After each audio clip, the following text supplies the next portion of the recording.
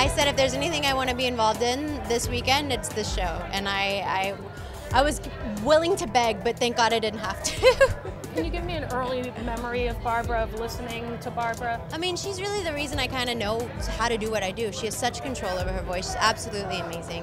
And um, I won my first singing competition with Memories from Cats. So I, we go way back. She doesn't even know it. So Are you performing tonight? I am, yeah. So isn't that intimidating to have her in the audience?